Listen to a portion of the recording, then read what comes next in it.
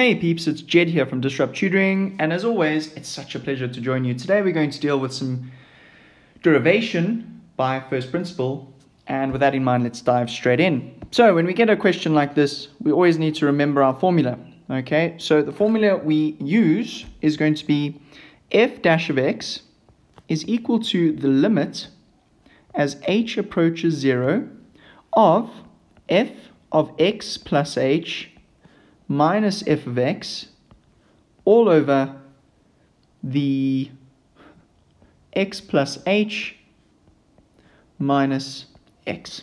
Okay, so we're literally manipulating our gradient formula. Okay, remember we are trying to find the gradient at a point when we look for the derivative, so it would make sense. Right, so now what do we need? Well, we need f of x plus h. We've already got f of x. So let's quickly find what f of x plus h is. So f of x plus h is equal to 4 minus 7 times x plus h, which equals 4 minus 7x minus 7h. All right, so now let's plug that in. So we're going to look for our limit as h approaches 0. f of x plus h we see is going to be 4 minus 7x minus 7h, okay? Minus f of x is going to be minus 4 plus 7x. Remember, you need to do that distributive law. All over x plus h minus x. Right, now let's simplify the top and the bottom. So simplifying the top, we've got a 4 and a minus 4, so those cancel out. We've got a minus 7x and a positive 7x, which cancel out. So we're left with a minus 7h.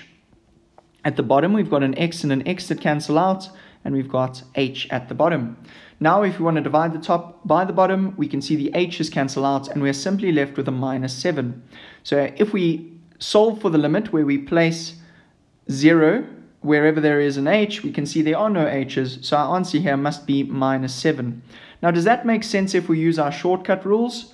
Well, we know that this constant would fall away, and we know that that minus 7 would stick and the x would drop away. So our answer for f dash of x is minus 7. So we can double check that by first principles we are indeed correct. Thank you so much to our sponsor for making this video possible. We really appreciate it. Read all about them in the description below. Also, feel free to check out our website for more of these epic tutorial videos. If you can't find the answer to your question, remember you can send us the question and we'll respond with a personalized video just for you. Until the next time, stay epic.